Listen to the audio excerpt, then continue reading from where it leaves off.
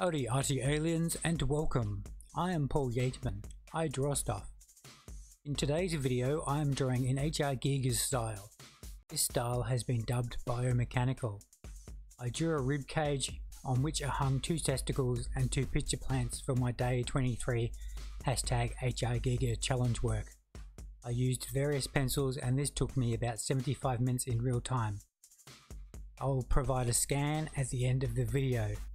Besides the intro and exit, I will not be speaking.